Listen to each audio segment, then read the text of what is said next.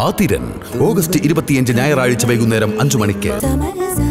പുഷ്പോപഹാരം തയ്യാറാക്കി കഴിഞ്ഞു. പക്ഷെ ഇവിടെ ഒരിടത്തും അത് കാണുന്നില്ലല്ലോ. ഇനി പ്രണയത്തോടെ കൈ നൽകൂ. അതിനുശേഷം നിനക്കത് കാണാൻ സാധിക്കും.